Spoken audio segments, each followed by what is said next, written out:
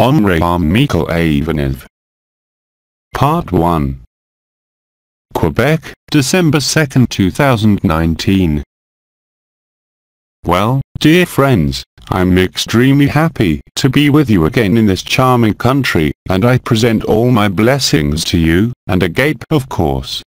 So it is with great joy that I will listen to your questions and that we will exchange together, all that you have to ask, all that you also have, and I hope, to testify to what you are going through. You know that this is what is extremely important today, in order to make the brothers and sisters vibrate, to make them resonate, because all this will allow them to tell themselves that it is not something that is reserved for some, who have had an asceticism or a spiritual journey, but that it is precisely your simplest humanity that allows you to live agape. The testimonies that you are going to make me hear, make me listen, are, of course, also precious gifts of yourselves, that you offer to the whole of humanity, in order to spread, beyond the words themselves, the good news of the agape states that you live with more and more certainty, and more and more evidence. So, dear friend, I give you the floor for testimonies or questions. I'm listening to you. The first one. Sister, we're advised, when we leave this body of death, not to dwell on the persons or entities we will see. Example, Jesus, relatives, friends, etc. It tells me I see someone. How can I explain these words I hear? There's no one there. There is no one, that is, it has been explained by the head of the head, and in the experiences of imminent death, all the brothers and sisters who came out of their bodies, they entered a tunnel, they met beings of light or members of their families, who stand in their way, in relation to the sun and the light that is behind them. These forms of light that you see, whether it is family members, younger in general, always well dressed, or great beings who have passed through this earthland, if you are Christians, you'll see Christ, if you are Buddhists, you'll see Buddha, but what you see is not the truth. And at the moment of your death, think of only one thing, the light that is behind these ghosts, that is your destination, that is who you are. They can't do anything against who you are. But of course, there is a form of astral seduction, a little emotional, for most of the experimenters of imminent death, who of course are no longer afraid of death, but somewhere had been deceived by these empty shells, which are, of course, astral, archontic creations, and which correspond, I would say, to your attachments at the time of your death, or to your beliefs. If you believe in Christ, you'll see Christ. If you believe in Mani, you'll see Mani but it has been explained many times that you have to make a difference when you are somewhere else than here in this body. Here you don't need, everything is in you.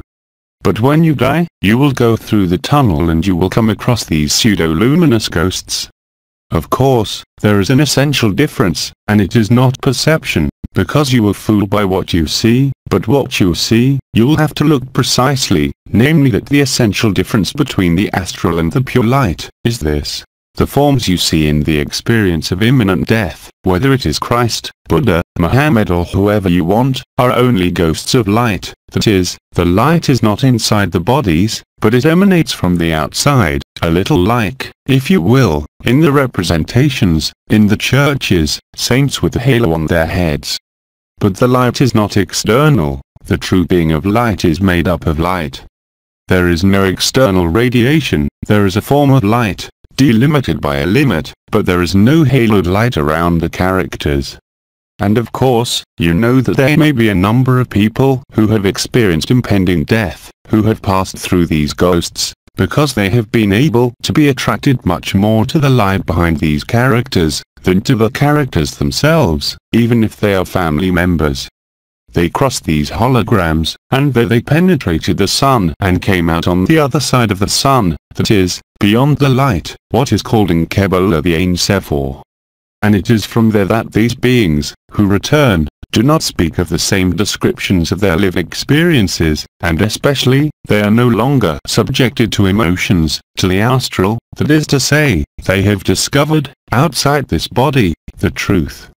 Today, as you know, truth is discovered in the heart of the heart, in the center of the heart, in the black hole. This is where truth is, this is where the world is, This is where all creations, and all worlds, and all multiverses, and of all dimensions, are, and nowhere else.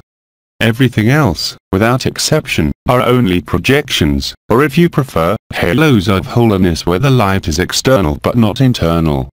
However, a being of light is made up of light, whatever its dimension, and it does not need to have light on the outside, because it is itself the light. This is an essential difference. That's why in most primordial traditions, you had what has been called the Book of the Dead. For example, that of the Tibetans, you had the Bardo Thodol, which was a reading to be made to the beings who were passing through the light, precisely so that they would not be hindered or stopped by these residual astral forces today.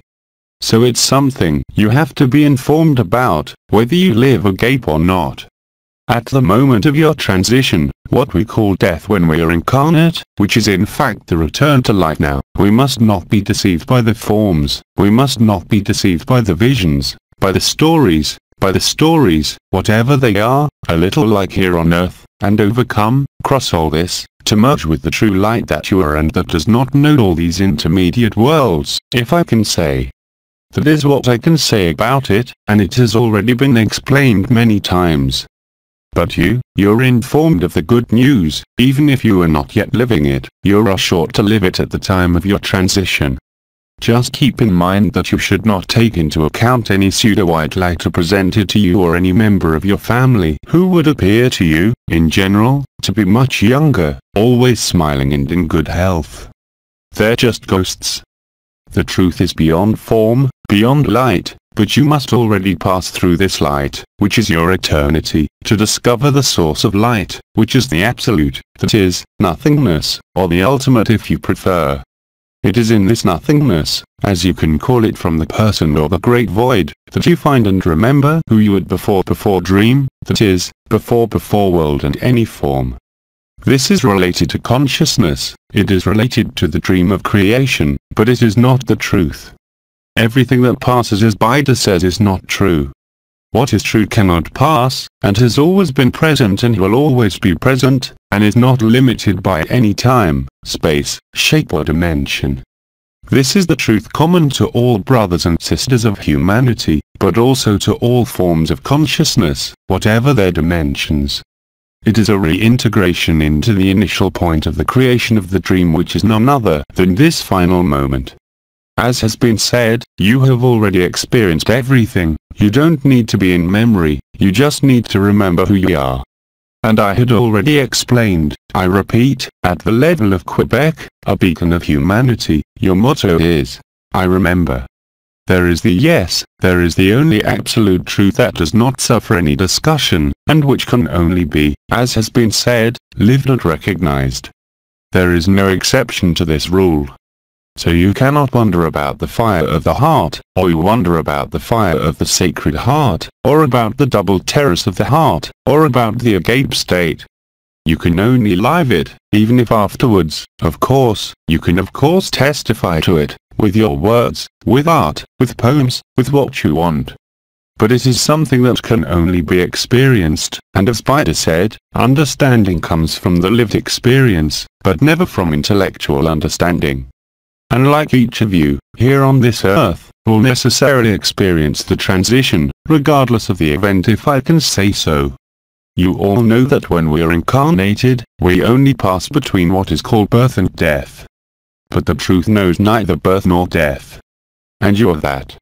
In truth, you were never born and you never died, you were there. They are not puns, they are the strict truth common to all consciousness, as soon as consciousness is seen for what it is, that is, a projective mechanism, a mechanism of exteriorization, manifestation and perception. But you predate all this. But do not worry, because I remind you that there is a collective moment that has been named the event, whatever its form, that will interest all the consciences of the earth, without distinction of any kind and at that moment, the intelligence of the light will remind you that you are nothing of what you see, that you are predating the manifestation. And you have today and every day that passes, more and more importantly, the opportunity to experience this. and head chief explained it to you, as well as Bidi, Eber, Enolwaden, Faham, explain it to you I believe at each agape meeting. But repetition is the basis of pedagogy, not to convince you of anything, nor to force you to believe, especially not, but to give you the essential information that will inevitably occur at the time of the transition, or if you prefer, at the time of the collective event. So that being said, we can continue. Sister, one question. Do the three stars incarnated on Earth still have a mission to accomplish? I remind you that you all have, without exception, the same mission, which is not a mission, which is to find yourself. Everything else today is no longer of any importance. You're all the stars, you're all the Melchizedeks, you're all the source and you are all the pure light, and you are all the absolute. Everything else is just part of the story. So there is no point in going back on these stars, the teaching has been perfectly structured for many years, but you are no longer in a period of teaching or questioning about, I would say, what represented variables or trinkets, which no longer matter, in relation to the truth revealed and lived. So I won't answer that question, you all have exactly the same mission, to wake up, to remember that there has never been anyone and that you are before the light. There is grace, there is beatitude, there is ecstasy and there is the absolute and unique truth where each of you can only recognize yourself in Hellenes. So don't think about the stars, don't think about the gates, don't think about energies, don't think about vibrations. Just think, if you want to think again, about a agape. Not to define it, not to explain it, but to live it. And the best posture, as you know, is humility, simplicity and, of course, the present instant, the present moment, what is present there, stripped of any past and any future, or any projection. There is beatitude, nowhere else. No vibratory rise will lead you to this ultimate truth, it has been said and explained in countless ways and by countless times, you see. So don't worry about the incarnated or not incarnated stars, because I can tell you today that all this, as we have always said, is in you. And you don't need to name, you need to name yourself, because there is only you, before you understand that everything is in you, and before you live that there is no one. We can continue, my dear friend. Sister, another question. What does it mean today to live in voluntary orgasms during the night? Laughs. And what's the question about that? Laughs. Sister, meaning. What does it mean to live on night of involuntary orgasms? Oh, it is a process that already existed during the year, at the end of 2011, when the crystalline nucleus of the Earth was released and was accompanied by the rise of which was named at the time the wave of life, which started from the crystalline nucleus of the Earth, passed through your feet, and went up along the lower limbs to merge with the ether channel, or if you prefer what is called the Sushumna. So, this particular energy, this crystalline nucleus of the earth that is linked to the memory of the first dream of creation, has penetrated some of you. And already during 2012, there were many so-called involuntary orgasms, as this sister says, that were happening. It is a truly sexual pleasure, but without sex. That is, it was the wave of life that came up, this fire that spread, that triggered this jouissance and this orgasm, that does not need sexual activity. These are the first phases of ecstasy, quite simply, and indeed, it happens most often, of course, at night, that is, when you are at rest and the mind can no longer intervene. So it is a process that is quite possible. I am not saying that it is essential and that it occurs in everyone, but indeed, many of you have seen this mechanism of nocturnal orgasms, totally as you said, involuntary, that is to say not sought, and which participate mechanically, vibratory and energetically, in the fusion of the wave of life at the sacrum and the small basin, which allows the fire of the heart to ascend to the heart and to the top of the skull, yes, so there may be ecstatic phenomena but at the level of the heart, and orgasmic phenomena directly at the level of the small pelvis. This is quite normal, and when it happens, there is nothing to look for as an explanation, it is the alchemy between truth and the ephemeral, between what is the simulacrum and the sacred.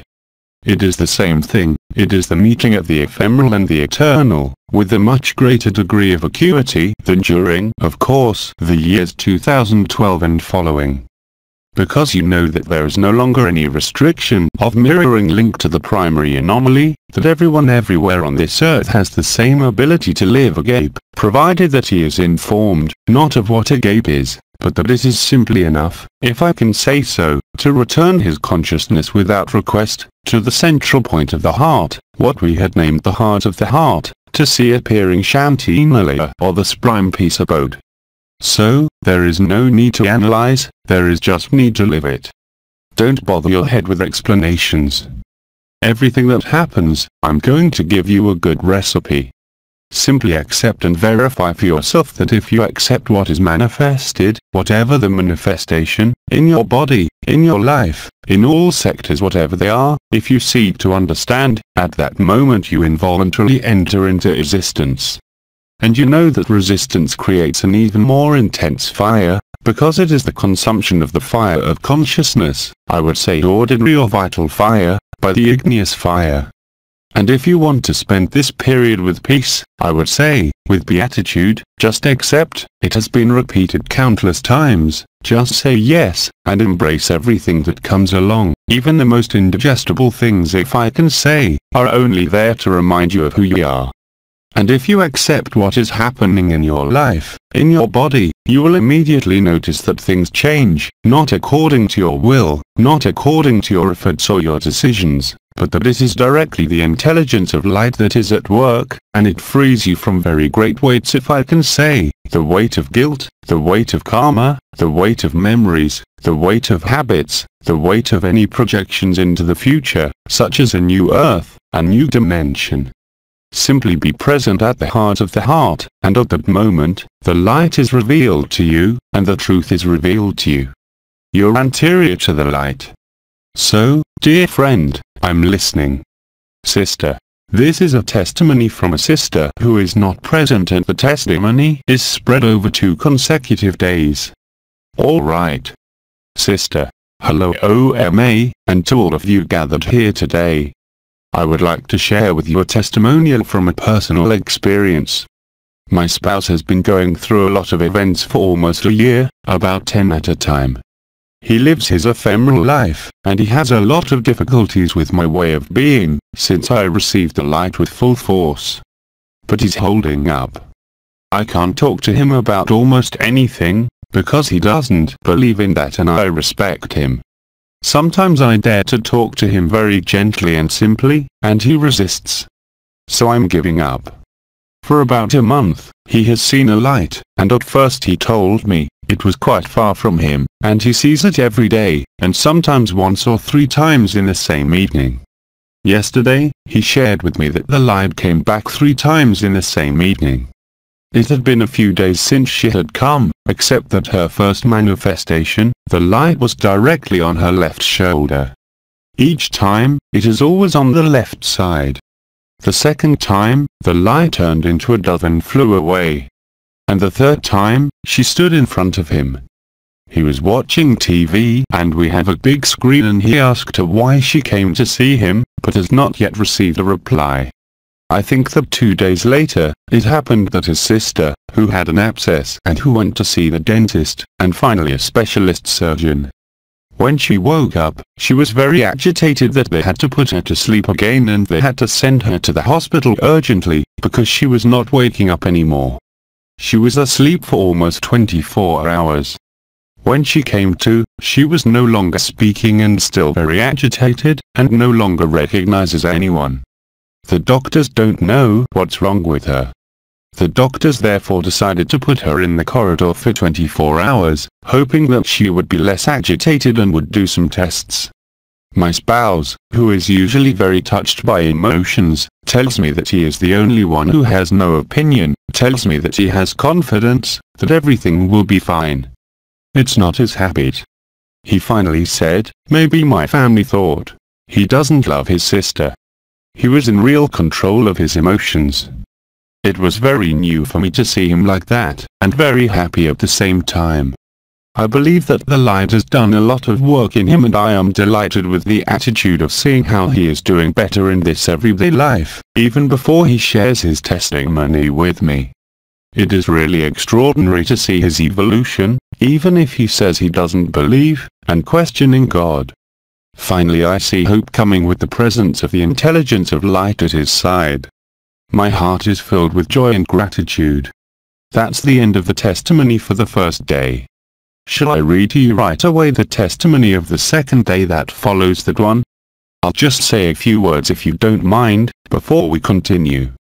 Through this testimony, you have the indisputable proof that even brothers and sisters, that is the husband, but you will see in your families, everywhere, it has been said, that you will have brothers and sisters who, overnight, were with total denial, in contradiction with your experience of light, who will live the same thing. And that's what's magical. That is to say, this person, who believed in nothing, finds himself confronted with the light, with himself in truth. And of course, the fact of seeing this light, of course, I will not go back to the fact that this light is seen, first on his left, on his left shoulder, in front of him, because it is very characteristic too, but it has been explained many times, it is not important. What is important, as his wife, his husband, says, is to see the radical change in a character. That is the truth.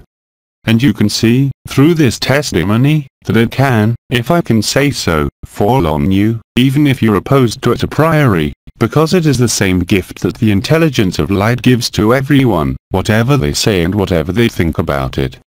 I also mean by this that somewhere, someone who opposes the subtle, the truth, but who has a good heart, is more likely to live the truth instantly, than someone who is still attached to scenarios, energies, visions or vibrations because fundamentally, her husband, whatever the character, had, even before the character faded, a heart that may be pure, and perhaps much purer than the one that is in the manders of a spiritual journey and that seeks outside, or in multiple experiences, the truth that can never be found. As was said this morning, I heard that, it is the light that finds you, but you can't find the light, because that's who you are. It's just a memory, a memory that comes back, that's how to remember. Remember not past lives, not the elements of this life, not any future, but to live the present instant. Everything is written in the present instant. So you have the yes, which was revealed to you a few weeks ago. You have the pronunciation of your last name and first name, you have the embrace, you have the acceptance, the truth it is there. She cannot be in any desire, even honest, if I may say so, to find the truth. It is the truth that finds you, it is not you who finds it. But when it is found, then you know that it is the truth, and it is the same for every brother and sister of this earth, right now. So, yes, you will see surprises, and I would say more and more surprising, and you will see changes in family, relatives, friends, overnight, people who were perhaps, as you said, materialistic, who did not want to believe in anything, and yet had a pure heart somewhere, even if the character was closed, rigid, austere. The important thing is not appearance, the important thing is not even the actor on the stage, the important thing is to be the observer, the witness or the spectator yourself. Of course, people who do not have beliefs, who do not believe in anything, today, do not need energies and vibratory rises. They live it spontaneously. It also corresponds and this is what we had always announced that the last ones would be the first, and that the first ones, that is to say that all those who followed the vibratory paths would be the last ones. It is not a punishment, it is an unstoppable logic.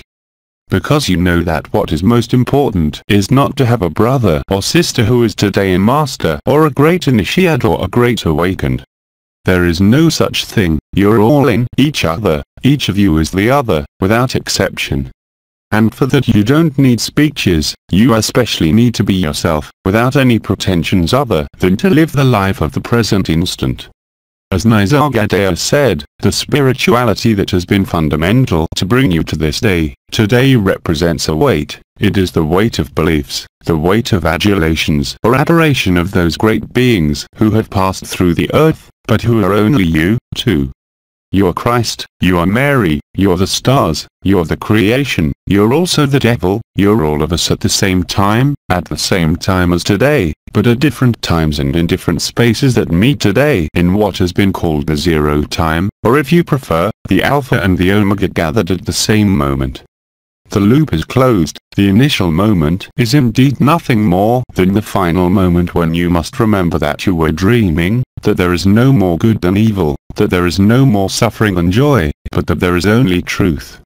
Of course, within this body of flesh, you will express it, even after it has been lived even after just one breath, you know that it is the truth and you can only see the changes in the character's behavior, which becomes much more fluid, much lighter, and as our sister said in this testimony, with an apparent loss of emotions. This does not mean that this person is insensitive, but he is radically transformed by the action of the intelligence of the light, and, in this case, by the presence of an entity of light, within the Marian channel, above the left shoulder, which has revealed the truth. And this being of light did not tell him anything, because he was not there to make speeches to him, nor to tell him who he was, but to merge and resonate with him, and open the gates of truth. That is what happened, and that is what this testimony does best, and it will also manifest itself in more and more families, groups or meetings of any kind. Then we can continue. Sister. The rest of the testimony, this part concerns her brother's sister. The doctors don't know what's wrong with her, she's being tested and so far the tests are all negative. They gave her brain electrodes because she was having epileptic seizures.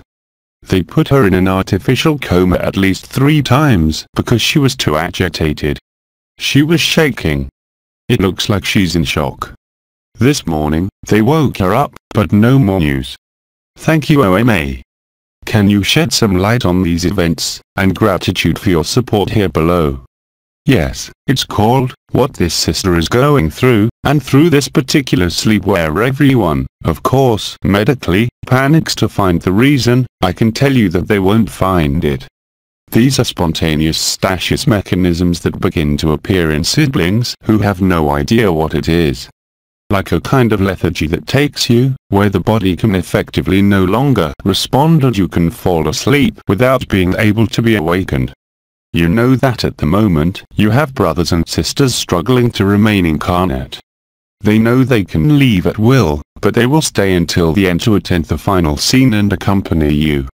But they are no longer attached, in any way, to this body, to this life, and to the ephemeral, that is, to this dream, they are awakened definitively, but they accept, somewhere sometimes with difficulty, to let the dream continue, to accompany until the last moment the dream of creation.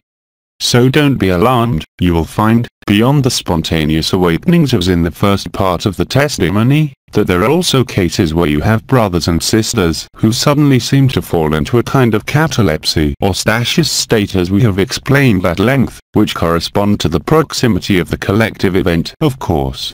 So, by the way, you know that it is December, of course, that I spoke about November as well as Black November, you have seen everything that has happened on this earth. The month of December will be a colorful month, that is to say that you will see amazing things in all colors, at all levels, and I am not just talking about climate events or elementary activities. Many surprises, many miracles, many transformations, many sudden events of different kinds will occur in many of you during this period, until the end of the year. And remember that, of course, the first reflex is to look for a medical reason or to look for a cause, entities, attacks or other things. Anyway, all this is nothing. But if this sister comes back completely, she too will be able to testify to what she experienced in this moment of catalepsy, stasis, sleep, from which she can no longer escape. You have the event at the door, the stasis, the three days, the visibility of Napier, all these events that we explained many years ago, are taking place before your eyes. Of course, there is no date, but it can be any minute now, it can be in several months, but it doesn't matter, because when you live the truth, time doesn't matter. And as I have had the opportunity to say, and I say it again now, the more days pass in relative tranquility, the more it is a boon, It is an exceptional opportunity to set up and sit, if I can say so, even more truth and good news, so that information can flow in everyone. Because the more you will live it, in anticipation of the event, the more the shock of humanity in its resultary phase will be softened. You wake up without difficulty, without having to go through too many nightmares. Accept what is happening in your life, not as a renunciation or bankruptcy of your will, but really as a form of transcendence and crossing of illusion, which reveals you to the truth that you are, and that is fundamental. The simpler you are, the more available you are to live what you have to live. When someone talks to you, I don't only talk about the meeting, but even in the street, someone asks you for information to find his way, there is also a resonance that happens at that moment.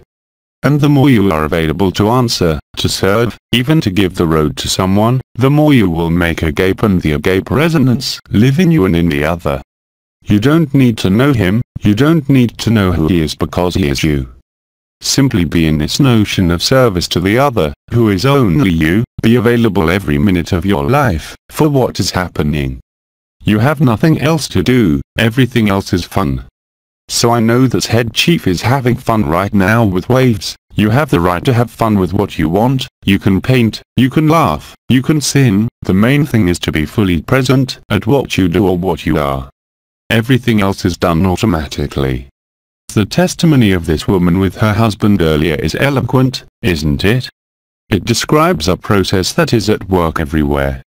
You're going to have more and more, for example, what I call the bad boys, I am not talking about archons, but about human brothers and sisters, who would predation, in certain professions, in certain behaviors, who from one day to the next will start crying and asking forgiveness, from themselves and others, and will transform themselves. They don't need to know that there are stars, that there is Mary, that there is Christ, that there is Buddha, that's all over.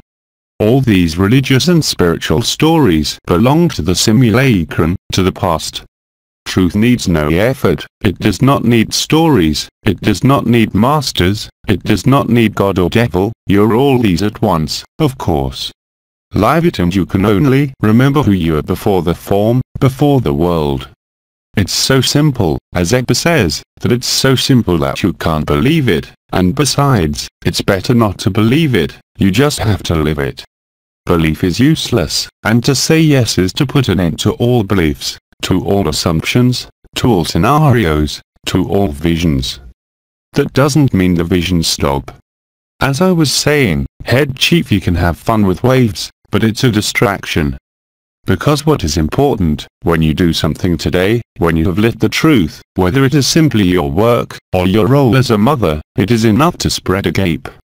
You do not need postures, you do not need to remain still, you do not need to meditate or pray, you simply need to be truthful and authentic, and you are truthful and authentic when you are fully present in the present instant, deprived of any reference to the past and any projection into the future. It is as simple as that. At that moment, you find yourself and you can say, I remember. Yes, I am that, no doubt possible, no question possible. This will put an end to fears, guilt, role-playing, functions, or implications. This does not mean that you will be indifferent, but that you will be transcendent in all areas of your life, and you know when you live it that you do not need anything else, except the energies, whether you perceive them or not, whether you have experienced the vibrations or not. Love is naked, as has been said, joy is naked, it does not need decoration or form, nor your conscience. This is what Eber calls the absolute I or the eternal I, as opposed to the little I, which has nothing to do, I remind you, with the self. The self is still a shimmer, it's still somewhere unfinished. But you don't need to finish anything. When you live it, you can only say, it's always been there, but I forgot about it. That's the good news. Come on, let's keep going. Sister. Here we have a testimony and a question from a sister who is absent. Dear OMA, through first name, who has followed your many conferences, it has given me the opportunity to feed myself as well. I come, though unknown to you, to tell you about my life in order to obtain help that will certainly help me to live longer on earth. I'm 88 years old. I was raised in a family of five daughters, the last two of whom were my twin and me. I lived in two religious communities. I then married a widower who had four children. I took care of it alone, because my husband had an accident shortly after I came here. All four children eventually got married. After becoming a teacher, I met a group of friends who were seeing a medium, who one day held me back, because of what he had said in an assembly. I then became a medium in a deep trance. Over a period of 12 years, I have constantly practiced the words of Archangel Michael in several places in Canada such as Belgium, Switzerland, France, several cities in Quebec and the United States. It should be noted that this lady was channeling the White Chariot and Archangel Michael. His question, could you explain to me why now that I'm talking to myself and I find it so difficult? Thank you very much.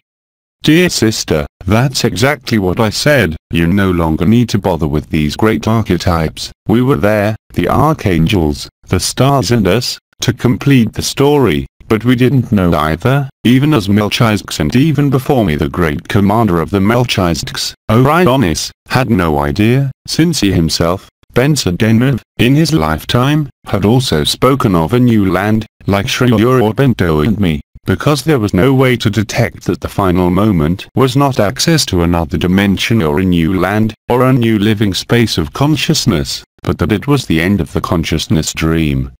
It was supposed to remain hidden until the ultimate moment, but it was written from the initial moment.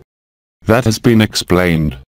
So losing memory, of course, that there are diseases that cause you to lose memory, there is aging, there is Alzheimer, there are many diseases that cause memory disorders. But the memory problems that you have today for many, if not related to age, is only to the disappearance of the ephemeral, even to stasis. So don't be alarmed by this.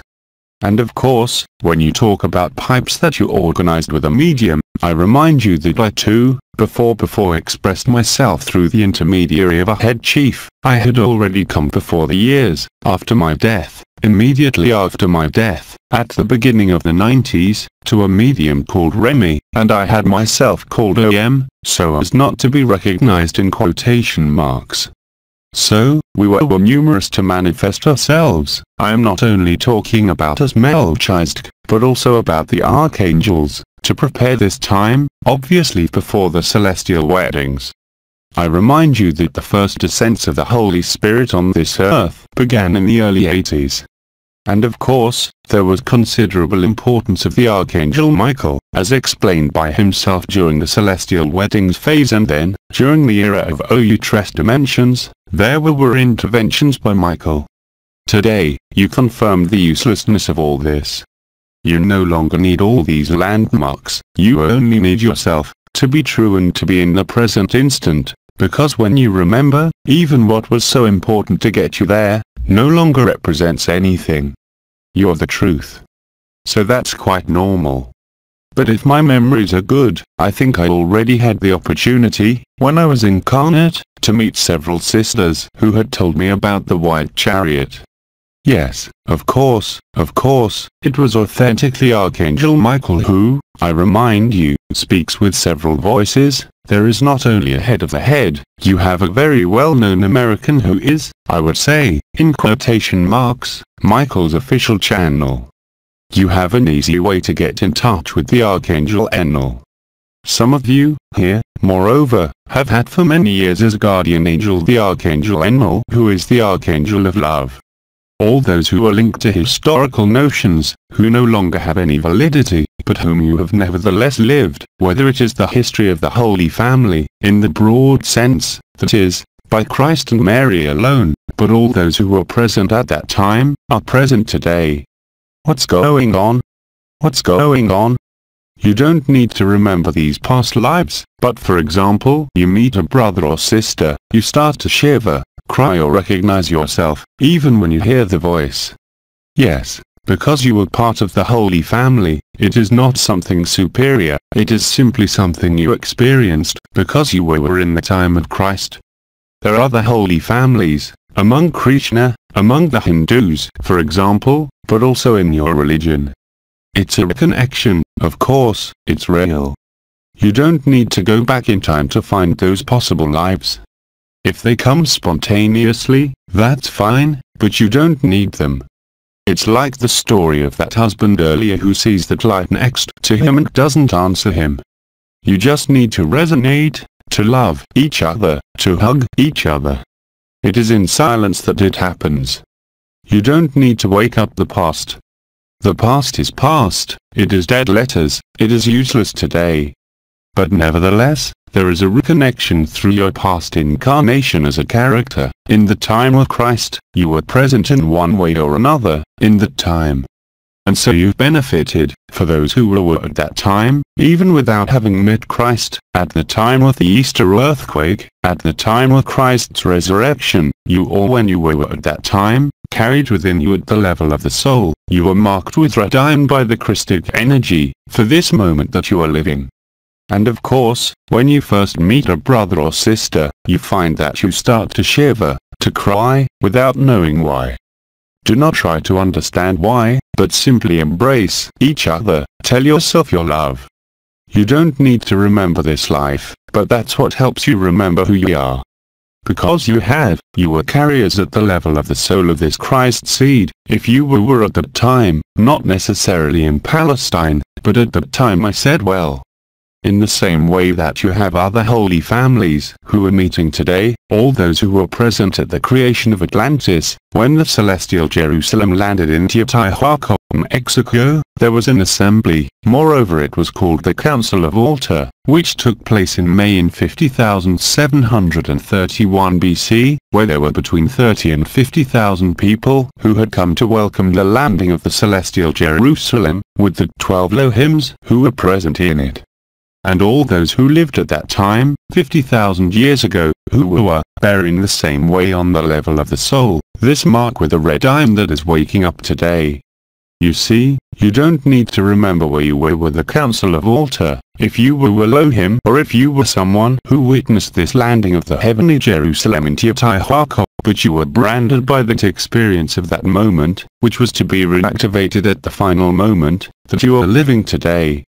That is why so many of you around the world find yourselves, either physically or even by listening to the testimonies as they are delivered to you, for example. You will resonate with some of them, either because they evoke your own lived experience, of course, but also because they awaken in you this brand with the red iron and what you had lived together, even if you did not know yourself at that time, but you were there. You see.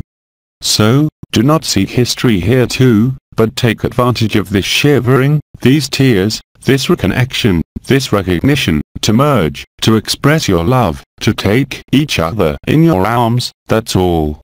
Everything is done from there, not from any memory, not from any history. That is how you penetrate on the same level, if I may say so, in the present instant, and you see that it is the truth, and that is how everything is resolved be available to live what is to be lived in the instant, I would say, regardless of any history, memory or memory. The only important memory is to remember who you were before the form. And these are only excuses, since I remind you that the scenario of all the dreams of creation occurred at the initial instant, since time does not exist and space even less so. Everything has been written to perfection, the scenario of dreams, all the scenarios are exactly the same and have only been constructed so as not to lose the thread of who you are, who you are waking up today, who you remember, who fills you with grace, who fills you with joy, lightness, truth. Everything else, as our sister said, has now become superfluous and useless. But even if at that time it was extremely important, so you talked about the white chariot in relation to the Archangel Michael, I invite you, moreover, if you have the opportunity to find some of these recordings, to perceive the vibratory quality that was present, and that was preparing this present instant. Bidi Nisargadatta incarnate, in his last incarnation, have said that his words could not fail. You're checking it today, at the time, no one understood anything. In the same way when Brother K was giving his lectures, it was captivating, but no one lived the same thing as him. Today, you're all Krishnamurti, you're all Sri Aurobindo. If you read again, for example, some of Sri Aurobindo's poems, which are related to the fire of the Sacred Heart, you will indeed discover that this is exactly what you are living. All this had been a work, in quotation marks, they were milestones that had been written to allow you, if I can say so, to direct you, to channel you towards this final moment, with more and more lightness, evidence and grace. But indeed, today, it is totally useless, you must strip yourself of all these searches, all these archetypes, which have nevertheless led you to where you are today. Give thanks, thank you, but you don't need to rely on that anymore. You simply need to rely on what is in the middle of your chest, everything is there, in the heart of the heart, and indeed, everything else has become useless. But it was not useless in the scenario of the story, of course. We can continue. Sister. It's a question. Dear OMA. In the past, when I entered my heart, I saw the light. Today, as soon as I install my consciousness on the heart of the heart, it is the black hole and only black. I go back to this hole, I become the hole, that is, I have passed the light. Thank you OMA. The answer is, of course, yes. After the white paradise, there is the black hole, what the ego calls nothingness, the black forces, it is the truth. I am not talking about the black forces formed like icons or bad boys or puppets. The black hole is the truth. As Nisargadatta said and as I said, a few weeks ago, it is the fusion of being and non-being. It's white paradise and black hole at the same time. And of course, when you go from the light you saw to the black hole, you have found who you are, before the light. You're the light, and you're the source of the light, and you're the source of the form, as of all universes, all solar systems, and all galaxies, as of all dimensions. And that, when you live it, this famous black hole, you recognize yourself. So of course, in the early days, there may be hesitations, especially when you had the opportunity to live the wide light, where you were so well in the self, in the glimmer of the light, and that I also said that it was spiritual pride, that the self, many years ago, was linked to spiritual pride. To believe that you are someone or something. But you are nothing, and it is by being nothing that you are everything. Your kingdom is neither neither this world nor of any world. Your kingdom is the abode of supreme peace, it is the junction of being and non-being, where everything is accomplished, where everything is perfect, and where you remember who you are. So yes, what you are living is the fusion of being and non-being, which takes place at the heart of the heart, in the center of the double terrace of the heart, at the zero point. This famous void or void, which in fact contains the whole dream of creation in the initial instant, this is what puts an end to the illusion of time, the illusion of space and the illusion of form. And it is there that you find the natural state of the eternal and absolute I. Everything else is just stories, just milestones, I say, to find you. Today, you don't need that anymore. And the more the forms disappear, and the more you experience this disappearance, this black hole, that is, when you are at the limit of the extinction of consciousness, you know, by living it, that it is the truth. There is no need for argument, there is no need for justification or explanation, it is simply to live, and it is livable in an increasingly immediate way. Every day that passes, during this multicolored December, it actually means that you will see all the colors everywhere, that you will find yourself, whether the event happens now or not. I answered the question. Then question on next testimony. Sister, there are no more written questions. So if we have brothers and sisters who, another sister, excuse me, excuse me, I have some questions that come by email. So let's listen to you, come sit with the microphone. Sister, the first testing money. This morning, around 5 o'clock, awake, I felt a vibration coming through the door of the room, which then took over my whole body, but without upward movement, compared to the previous manifestations, twice 10 years ago. Everything vibrated in me. It was very fast with a light sound. Then it stopped. It is a testimony that, out of curiosity, what is it? Thank you. Agape. Thank you. Other testimony. Sister. But, but the question said, what is it? and we can't hear well there. Thank you. Sister. In the question, it is asked, what is it? Of what? Was that a testimony or a question? Sister. It was a testimony. And what is being asked for, I don't understand then. I heard a testimony, I didn't hear any questions. Sister. No, there was a question, it was the same question.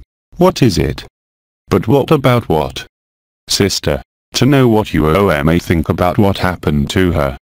But I don't have to comment, except when I comment, but I don't have to say what about a testimony. I don't always understand the question. What is it? I have to appreciate the testimony, right? Sister, do you want to be read back to you? Well, I'd like to read it again, but I don't see what's going on. What do you want me to say about that? Sister, well, okay. Either there is a clear question, but what is it, it doesn't mean anything. The person may be wondering about the validity of what he or she has lived through, is that it? She doesn't have to ask the question, if she has lived, she has lived it. Sister, she probably thought you could shed some light on what she had lived through. So let's start reading it a second time. Sister. This morning, around 5 o'clock, awake, I felt a vibration coming through the door of the room, which then took over my whole body, but without upward movement, compared to the previous manifestations, twice 10 years ago. Everything vibrated in me. It was very fast with a light sound. Then it stopped. Thank you. Agape. But I still don't understand. She lived a vibratory process of fusion, agape, communion and resonance, that's all. Look, earlier you had the testimony of this woman who was talking about her husband, who believes in nothing, who sees the light, who questioned the light. She remained silent. What matters is the lived experience, not the explanation, right? It was a phenomenon of resonance. She ends the testimony with agape. Yes, it's a vibratory process, it doesn't call for comment. The question, what about it, I still don't understand. If we testify, of course I can supplement when necessary, but as the question is formulated, I still do not see what is being asked. If it is the truth of the experience, of the lived experience this morning, it is obviously true since you have lived it. Why do you want a story to tell about this? There is no need to identify who that light was, since it was you. You have lived an intense vibratory phenomenon of light revelation, that's all. Why question the lived experience? Especially since these are not vision processes or, strictly speaking, energy perceptions at one point or another. It is a global vibratory process. We have explained at length that it is the fusion of the ephemeral and the eternal that triggers the fire, that this fire starts from the feet, from the chest, from the head, that it is a vibratory process, that it is the alchemy between the vital fire and the igneous fire, that's all. So either either answered the question or I still haven't understood. And if the sister is there, well, she has to come and ask, say what she means by that. Sister. The sister is absent. Then I can't answer more than that. But the question is so vague, she questions herself, maybe it's about her own experience. But it's no use, the important thing is to live it. The explanations come on their own afterwards. When I give references that accompany your testimonies, it is just references that are precise, at the level of the body, out, for example, just now the light on the left shoulder which is related to the Marian channel, but there is a vibratory process that she has lived, of alchemical fusion between the ephemeral and the eternal. Whether it is her ephemeral and her own eternal, or what you might call an entity, it doesn't matter. The goal is to resonate together, to vibrate together, to recognize each other. So let's keep going. Sister. The second testimony.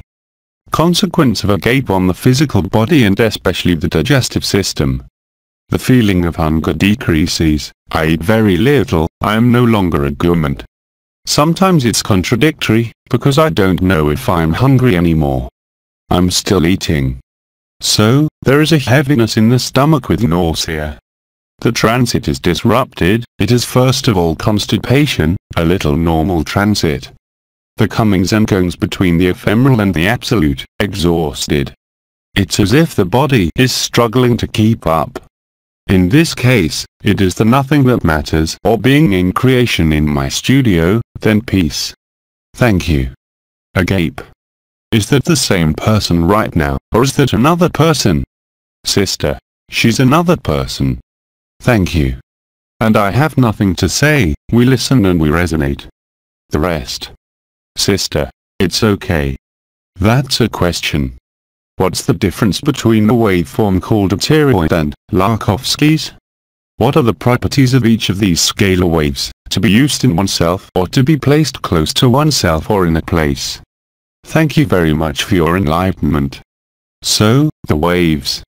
In short, because this is not my field, you have what is called electromagnetism, the usual sine wave, which is polarized to a greater or lesser extent, it is the kelers, the sounds, all that is electromagnetism. The scalar wave is not polarized. There are, of course, different scalar waveforms in different metal circuits, different oscillators, which generate specific waves. There are differences. But I remind you that the most important thing, and I think it is the person who makes these objects, who asks this question. The important thing is the love that you put in making them and not the measure of such a wave or scalar wave, because the intensity and quality of the love that you make in this act of creation, is much more important than having such a scalar waveform or such other form. Of course, there are identifiable and measurable specificities, but today I tell you that their quality of transparency when done is much more effective than that of all the other components but simply the scalar wave allows somewhere, whatever its form, that is, it propagates in a straight line or in a spiral, without being polarized, that is, it is neither neither nor magnetic, it propagates to infinity. This is the good news, the scalar wave, this is the good news of zero time. It is the realignment of your presence with your absence, or if you prefer the fusion of being and non-being. Do not be embarrassed by such details of measurements, units of radionics or Bovis, or vibrations in positive green or negative green.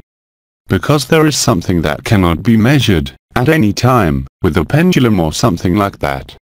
It is the quality of love with which you realize this, which is much more effective than what is within, even if there are specificities. So don't worry, of course, you can ask the same question to the headmaster who, I think, is playing with that right now. But what is important is that all these geometric forms, whether they're radionic circuits, or whether you prefer to passively generate what is called the cosmic field of the electromagnetic universe, or whether they are circuits called resonators or oscillators, whatever the names are, whatever the forms are, is what you will put, you, over them, by means of your love, which is more effective than the form itself. So do not ask yourself if there is one form that is better than another, because the difference in action is not related to this or that energy, but to the quality of the service you have given to achieve this objective. There are certainly differences between a longitudinal or spiral scalar wave, depending on, say, this radiation which is supposed to be infinite, from one person to another, and which does not correspond, and which is in no way subject to gravity or electromagnetism, and free of polarity. And so you go in a very, very subtle way, because of the intention you put into doing this, which is not a commercial act, but an act of sharing, of creation and of surrender, which is much more important than all the measures that could be done with a pendulum and all the scientific explanations that could be given to you by someone who is a specialist in these waves or even a head chief. The intention, and the heart with which you do these things, is much more important than the form. Don't focus on the differences in measurements, don't focus on the definitions of the manufacturers, but focus much more on ensuring that you always remain in this state of self-gift when you make this. This is much more important than knowing that a particular geometric form emits a particular wave or another wave. Efficiency is always the same, to bring you back to zero time, and allow you to remember Of course, there are effects on pain mechanisms, on emotional or mental malaise, but this effect is not only related to what you call the scalar wave, or even to the minerals or metals that are put in this object, but with the intention with which it was done. I remind you that you have been involved for years in what has been called conscious co-creation. What you do with love is a carrier of love. What you do without love is deprived of love. It's as simple as that. And you will see, in time, in the coming weeks, if they happen, that it will be more and more powerful, whatever form you put on, whatever is measured as the Bovis unit or as a type of radiation. What is important and it is not measurable, at no time can anyone measure it, agape, because it is not measurable, and that is what is most important. What you do with love, is a carrier of love. What you do without love, even if it makes sense, even if it is measured, even if it is calibrated, no longer represents anything compared to the power of love of your creative act. I talk about objects, but it's the same in all relationships, whether they're family relationships, or with someone who asks you for directions on the street. Smile, be real and spontaneous, everything else is just an alibi and an excuse. So of course, these scalar waves, of course, being related to something unpolarized, sent you back to time zero, to what I believe has been called tachyons, that is, those waves and neutrino particles that exceed the speed of light, because it is instantaneous. Then after that, it is your intention that will really crystallize, in the crystals, in the minerals, in the resin, and in the reproductions on circuits of these scalar waves. So of course, there are differences. But that I advise you to ask head of head rather than me, because I don't have the necessary knowledge, but on the other hand, what I am telling you is that the quality with which you do that is much more important than any measure you could do. At some point, if there is enough love, you no longer even need to put scalar waves or minerals, but simply draw or make an object, which has a shape of a rose, or a shape of a whale, a shape of a flower, with the intention of love, the other will be living it. The scalar wave is a support of the information of zero time, but above all, a support of agape. Like minerals, you literally impregnate with agape the places where you pass, it is the remanence of the walls. When you are in zero time, like Christ in his time, when he was walking the streets of Jerusalem, and the woman who had bleeding touches him and is healed. And so did the widow, when he said, It was your faith that healed you, not me. It is exactly the same thing, but the faith in what? In life, the faith in the love that you are, even if you have not yet recognized yourself. If your intention is pure, then that is the most important thing, whatever the measures. It is agape's primacy at all levels, not only for objects made like this, but in all creative acts, in all relationships that take place. If you put love before me as I said, if you forget yourself, if you're in service to the other, regardless of any personal advantage, you resonate with the other and you are the other. That's what agape resonances are, whether it's through objects, places, wall resonances, anything. You have countless brothers and sisters who find themselves living agape without knowing what it is, without having asked for anything, but they were, even without knowing it, even by refusing it. You have come out of these notions of measurement, you no longer need to measure if it is good or bad, if it is more effective or less effective, because if you do that, it means what? That you are not yet free, that you want to act according to the rules of the matter and not according to the rules of the spirit. So forget all these notions, be true, be spontaneous, even if I suspect that the chief head may have other answers than mine regarding the structural aspect of these waves of forms. But the important thing is not there, the important thing is the intention of love and service that you put into what you do, every minute. Everything else, if you measure, you fall back into duality, good, bad, there it is stronger, there it is less strong. Love knows none of this, and the one who lives the truth, especially does not need to measure anything, nor to know anything. The most important thing is its inner disposition in what is created, in what is said, in what relates, at whatever level. Everything else is just passing through. But what you do in this state of availability, the service, will never pass. And that's what makes you remember who you are.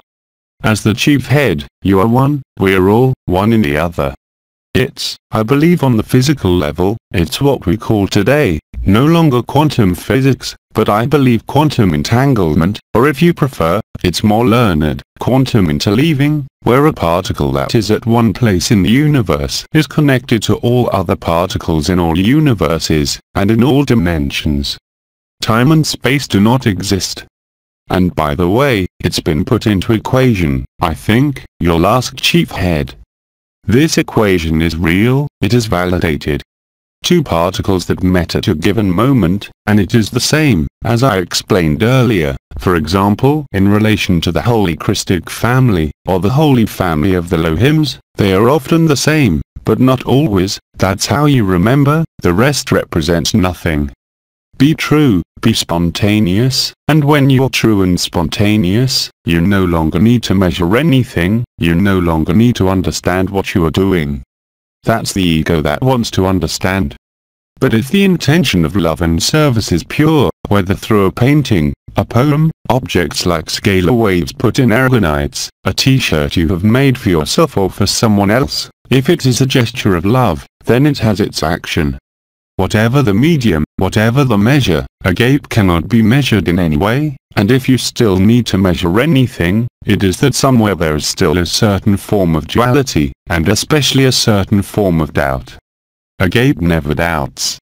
But then, if you want more details on the measures, I invite you to address this question directly, to ask it again directly to the chief head in a satsang, it will be easier, won't it? Moreover, Chief Head has already delivered to you for many years, a number of elements, very physical, concerning products, crystals, to help you out to the zero point. You can help yourself with what you want, the important thing today is much more when you do something, whether it is an object, an encounter, an exchange with your husband, your wife, the child, it is the state in which you are in love. It's not fair, it's not going to be your words, it's not going to be the need to persuade a child or a husband of something, it's going to be there to your availability to the love that will act in the other. I would say, without your knowledge of your will, without the knowledge of the will of the other, that is the miracle of love. Love is total immoderation, it is madness in the eyes of men, and yet it is the only truth, you see. So do we have any further questions or written testimonies? Sister. No. So if we have. Sister. We have an oral question. What? Sister. An oral question.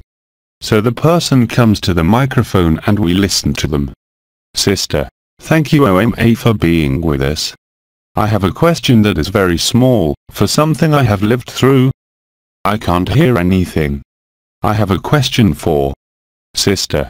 She has a question that is very small for something she has experienced. Oh, right. Sister. About two weeks ago, during the night. Two weeks in front of the sister. During the night. I didn't understand anything. Sister. About two weeks ago, during the night. Art night. Is that the word night? Oh, my god, with the Quebec accent, it's getting tough. Laughs. Sister, I was in a place that seemed to be at the car dealers. I didn't understand anything. Laughs. It's like it's Chinese to me. Sister, she was in a place that seemed to be like a car dealer. Okay, so it's a dream then? Sister, yes, but very consciously this one. Sister, a very conscious dream. A lucid dream, alright. Sister, yes, and I took a few steps, and in a passage, and I turned to the left. Sister, do you hear the story well or do you need me to repeat it? We have to repeat because the microphone is not, the person speaking is not in my vibratory field. That's why it's the right side person, no matter how intense it is, it's not even a question of accent, sometimes I can hear someone, because there's a connection being made, even if they whisper, but in other cases, no. It has to be in the vibratory atmosphere of what is called the root kosa, which is on the right and left. So, repeat, yes. Sister. I took a few steps and turned to my left in the passage, and it was so bright that my eyes were closed. unable to open them, it was impossible, and even more than difficult, it was impossible. And Eves came to wake me up at that moment, and even back on the physical level, I had trouble opening my eyes. My question is, what happened, what did I live through at that time? What's the car? A vehicle. It is your body as well physical as it is of light. In this case, as you say, you were a car dealers. That's it. So you came to get your vehicle of eternity, of light. But it was so intense, of course, that it triggered a vibratory phenomenon, but also friction fire. The car is the physical body, but also eternity, but also the subtle bodies. The fact of seeing this car with this white light that prevented you from opening your eyes is your own encounter with your eternity. It is the installation in the white paradise, a prerequisite most often, but not always, to non-being, that is, to the black hole. In a dream, wherein the circumstances of your lives, we had earlier the experience of husband and wife with light, it is the same thing. It's a vibratory resonance that brings you closer to time zero. That's all. Do you have any other questions about that? Sister. Yes. In September last year, when I went to Kenmes, I recovered my body of eternity and I also lived the black hole. Is it because it has been enlightened, but not in its entirety, and here? Oh, I'll stop you right there. Since what you lived at Kenmes, have you always remained in this state of beatitude or not? Certainly not. Sister. Oh, no. She answers no. Well, that's why you lived it again, with the car dealer and the light car. There is what is in the order of memory, called the initial or final moment, it is the same, where you find your body of eternity and the black hole. Either either remains, or with the vicissitudes of ordinary life and the character, it moves away, which creates great suffering, doesn't it? Sister. Oh yes. It just came back, that's all. Remember that for a whole year, whether it was me, Chief Head, Ebba and others, we insisted very heavily on habits. Habits are embarrassing when you do things automatically, out of habit, without lucidity and without mindfulness. These habits, even if they seem normal to you, take you away from the truth, because they lead you into a routine, they lead you into the habit, that is to say that you no longer need to be lucid, it is done almost automatically, it was very practical. But these habits take you away from the truth, because when you let yourself be guided by your habits, your automatisms, because you master one domain or another, you are no longer available for the observer in the present instant. And it creates suffering, which is why habits, we have insisted so much on seeing them.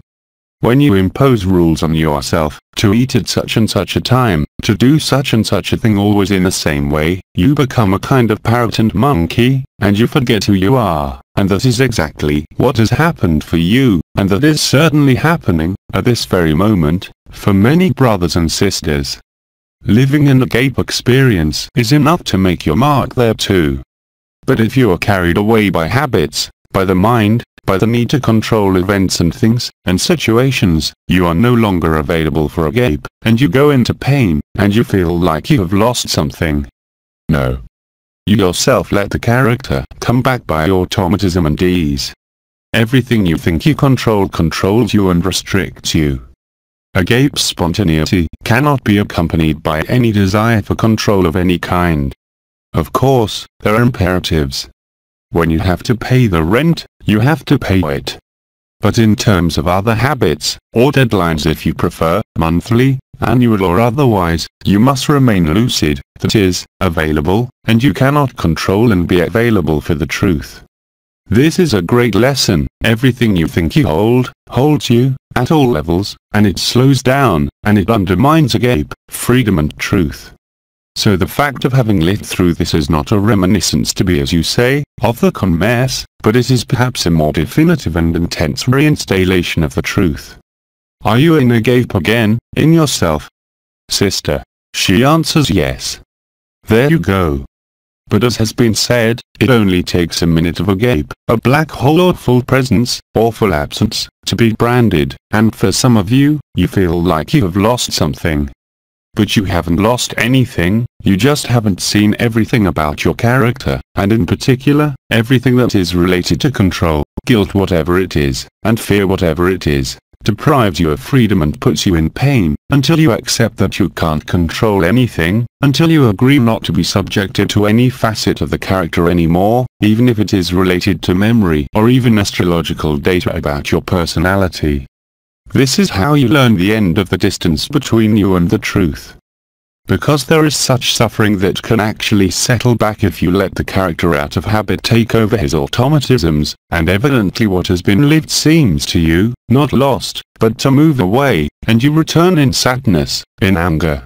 It is only because there are still memory residues left that are not karmas, but are simply behavioral postures of your life, perhaps related to your temperament, also astrological, to your memories, whatever. This is how you learn the end of the distance between you and the truth. Because there is such suffering that can actually settle back if you let the character out of habit take over his automatisms, and evidently what has been lived seems to you, not lost, but to move away, and you return in sadness, in anger. It is only because there are still memory residues left that are not karmas, but are simply behavioral postures of your life, perhaps related to your temperament, also astrological, to your memories, whatever. But it's always the same thing, it's guilt, fear, doubt, the person's automatisms, the need for control, which seem to make you lose this state of agape. But it is the comings and goings between the ephemeral and the eternal, as has been said, that will set up the eternal in a permanent way. But it is precisely when you get tired of seeing that you are not well, when you were so well, when you understand what is at stake in the character, when you really see or when you really realize what has not been seen. At that time you will laugh at yourself, that is, at your guilt, your need for control, your fears and doubts. At the time, I was saying love or fear, and you know that for many months now, me and Bidi too, we have also said love or suffering. When you get tired of suffering, you will laugh at your own suffering, but to do so you must accept that you have no control and that you have no control. Love is not controlled, love is not mastered, it is lived in the present instant, independently of any conditioning, even linked to the influences of astrological signs or wounded memories, or loss of trust, or guilt, or fear. It is the comings and goings between the ephemeral and the eternal. And when you're firmly determined to let a Agape be who you are, rather than the character, become again through his comforts of control, the organization, that you will drop that, that Agape will settle back in, it is not a punishment, this is also an insight into what is Agape and what is not Agape when the character tries to regain control, even if only by automatism, that is, in a totally unconscious way, but who must become conscious again, in order to laugh at it and cross it. It is also like that, and it has been said by the head chief, in one way or another, to drip yourself of the ephemeral, of creation, of your form, not to drip you of life, but precisely to live life, to live agape permanently. Agape cannot be accommodated with memories, cannot be accommodated with projections, in a new dream or in the future. That's the present instant, because if you're in the present instant, instantly, you're in agape. If you are not in agape, it is because the present instant is no longer, you're in something other than the present instant, you're in claim, in fear, guilt, suffering, and therefore you cannot be available for the truth, even if you have lived it, as you said, some time ago, in another place. It's not a punishment, you have no guilt to maintain, no research to do, but you just have to let all these habits die. The light will always be much smarter and more organized than anything you can do through yourself, even with the most important skills. The spontaneity of life, that's it. If you're really present, you're free, you're in agape, that is the presence and absence together. So yes, many of you are also living this kind of trinikoti turnikota, no longer entering as I called spiritual pride, the self, but simply the interplay between the ephemeral and the eternal, this fusion between the ephemeral and the eternal, which must not leave any unenlightened area, whether in the body, or in behavior, in thoughts, in the mind, in emotions, and even in relationships. And besides, I would say, whatever I repeat, when you get tired of suffering, there will only be love left. You have also had many testimonies from brothers and sisters who have been incarnated, who have been known and who described the same thing to you. You have countless brothers and sisters today who express themselves on the present instant and on agape love, even if they do not know this word. Agape cannot be accommodated with memories, cannot be accommodated with projections, in a new dream or in the future. That's the present instant, because if you're in a present instant, instantly, you're in agape. If you are not in agape, it is because the present instant is no longer, you're in something other than the present instant, you're in claim, in fear, guilt, suffering, and therefore you cannot be available for the truth, even if you have lived it, as you said, some time ago, in another place. It's not a punishment, you have no guilt to maintain, no research to do, but you just have to let all these habits die. The light will always be much smarter and more organized than anything you can do through yourself, even with the most important skills. The spontaneity of life, that's it. If you're really present, you're free, you're in agape, that is the presence and absence together. So yes, many of you are also living this kind of trinikoti turnikota, uh, no longer entering as I called spiritual pride, the self, but simply the interplay between the ephemeral and the eternal, this fusion between the ephemeral and the eternal, which must not leave any unenlightened area, whether in the body, or in behavior, in thoughts, in the mind, in emotions, and even in relationships. And besides, I would say, whatever I repeat, when you get tired of suffering, there will only be love left. You have also had many testimonies from brothers and sisters who have been incarnated, who have been known and who described the same thing to you. You have countless brothers and sisters today who express themselves on the present instant and on love, even if they do not know this word. You think they need to burden themselves, to know what a keka is, an energy, a vibration, a vision? No. The availability at the present instant is emptiness. This is where nothing of your history, your person, your memory, your habits, your projections, in short, nothing concerning consciousness, the unconscious, the subconscious or the supraconscious can interfere with the eternal I as long as it is not stabilized. Yes, it can give you the impression of suffering, of being angry, and you sometimes have the impression of seeing guilt, suffering, fears reappear. These are not punishments or rewards, it is the right play of the intelligence of light that is revealed in its entirety. Be available, accept also, especially when it seems to you that you are no longer living what you have lived at a given time, accept. Do not enter into rebellion or revolt or research. If you accept, you will go through all of this. There will be no more guilt, no more doubt, no more fear, no more character. And you will be free, totally free this time. But if there is a posture of claim, needs for understanding or to explain and understand, you are not available for agape. It's as simple as that, but as I said, it's so simple as Epa says, that it's so simple that you don't dare to believe it, or that it seems so crazy if you can say so. And yet, you have no other choice. I remind you that everything has been written, I remind you of the sentence that Baidu was saying and that will become more and more important. Everything that has to happen will happen, whatever you do, whatever doesn't have to happen, won't happen, whatever you do. From there, if you live this, if you accept this, you're free. That's acceptance and the yes, it's not thinking about a moment that happened a while ago, and that seems to have disappeared. He's not missing, it is simply the character who has regained possession through habits, fears, doubts, guilt and suffering, which have taken you away from it. It is in this sense that we must accept, embrace, cross and say yes. So, fortunately, the intelligence of light can, like your car story before, remind you of this, like the vibratory process earlier with the question, what is it? You cannot be agape, be free, be true if you nourish somewhere what emerges from your personality, whether it is the need for control, as I said, or guilt, fear, suffering, they are obstacles, but the only way to overcome them is to accept them and embrace them.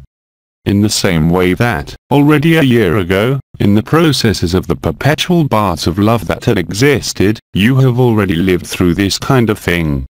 Today, it is an intensity without equal, it is you in front of yourself, not to judge, or condemn the character once again, because there is a programming, there too, from which you cannot totally escape, even if you were free and liberated, which is a conformation of what is called the astral sky from birth. We all know that a Aries does not behave like a Capricorn, do we? That according to the planets, the temperament, the events are not the same. But all this belongs to illusion, to the ephemeral, to what happens, and if you don't pay attention, if you are not in the lucidity of the instant, at first it is extremely easy to get carried away by mental, emotional, behavioral habits, and at that moment to say that you do not understand why agape is no more there. But agape shows you this. It is not a punishment, it is the game of comings and goings between the ephemeral and the eternal, it is the crossing of the ephemeral into the eternal, it is reception, it is acceptance, without question, without revendication. If you are looking today to solve the why of control, the why of fear, the why of suffering, the why of guilt, you are simply not available for agape. Agape, the agape resonance, whether it is in a network, in pairs or in space, is the solution. But if the character, without the knowledge of your eternal and absolute self, has regained his automatisms, you do not see the automaton that you are, and you believe in this automaton. This is what we call temperaments and behaviors, many of which come from history, education, but also from the astral sky of birth, astrological, it corresponds to the personality or soul for that matter, but which are not the truth. It's a light, it's not a punishment. And besides, as you say, you have found the agape state, and you will notice that at that moment, your character you see it when he becomes this automaton again, whether it is guilt, control, suffering or fear, and at that moment you laugh at yourself and agape is there right away, that's the game, J-U, of agape, which is taking place. Everything is written, as has been said, you can only find yourself. But don't delay, when it seems to you to move away, it is not a gate that moves away, it is you who have moved away from it, by automatism, by need to direct, to control, by guilt that has nothing to do with humility. Humility is precisely accepting, even your guilt, without nourishing it and without questioning it. The same for control, fear, suffering, that I will leave it there, but it can be everything that is opposed somewhere to love, not as we can conceive it, is there only to be consumed by love. These are the last insights, we have told you. And don't put guilt there either, by telling yourself, that's it, I've moved away from myself. No, these are automatisms and memories that run on their own. It's a hard disk, an operating program if you will, that runs on a freewheel and that you haven't fully seen yet. And these oscillations, for some of you, between agape and something else, are only there to establish agape, and to find you. And when you get tired, as has been said, of doing the yo-yo, then you will be stabilized in the gape. If you give yourself totally to who you are, there is no reason why agape should seem to move away or disappear. It has always been there, I remind you, always, always. This is what all the brothers and sisters in the testimonies when they meet and remember. But then there is also there, I would say, for some, a phase of acclimatization to the truth, because as you said in a dream you had with a very bright vehicle, it is so intense that it bothers the person, and yet it is this intensity that you are. In some cases, Agape suddenly reveals himself. There is a before before and after. We have had several testimonies on this. And then in some cases, I would say for those who were a little too much, not in materiality, but in spirituality, in research, they are more fragile at the level of a agape, because there are precisely spiritual, behavioral automatisms too, which turn in a loop and which we do not see. And the game between the eternal and the ephemeral is precisely to illuminate the whole ephemeral, not to judge or explain it, but to literally consume it in the fire of love. Agape cannot fail, no one can escape what it is.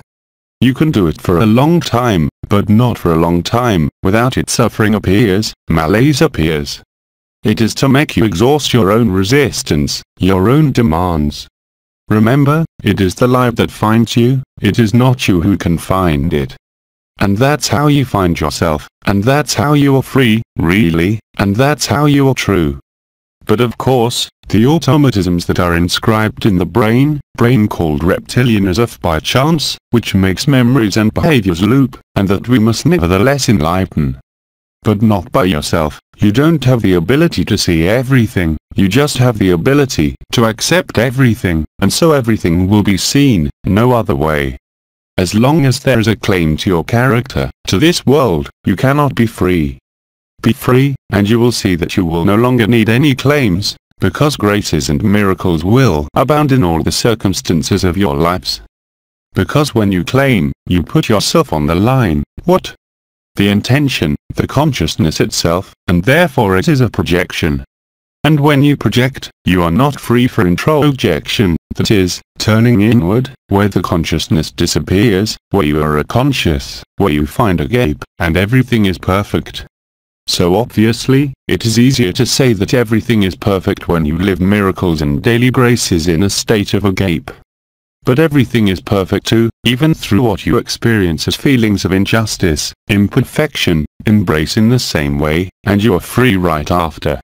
All projective, externalizing mechanisms, whatever they may be, must give way to what is true and of the deepest inner order, what has been called the heart of the heart, the zero point, zero time. I say it again and again, you can only find each other again, no matter what you think today. Any other testimony or questions in this room? Sister. One moment. Sister. A big thank you OMA because everything, everything, everything, what you have just said, is what has happened in the last year since September, yesterday, today, and indeed, all this great suffering and rebellion, this claim, this claim, everything has been lived in me as you have described it. Thank you very much. I thank you too. Another sister. I wonder, aren't we taking a little break? Sister. We could use a little break, is that possible? Yes, I've been talking for so long. Sister, it's been two hours. It's been two hours now. Already? Sister, yes. Time no longer exists. But finally, if you need a little rest time, of course, I would be happy to do so. You just have to tell you for the live listeners when we're back. Room. When do we start again? Anytime you want. In about 15 minutes. So we say, and I'm not saying goodbye, I'll see you in 15 minutes. Room. Thank you OMA, thank you OMA. See you soon, see you soon. Through Jean-Luc Ayoun. Les Transformations. English Revised Translation. LMF.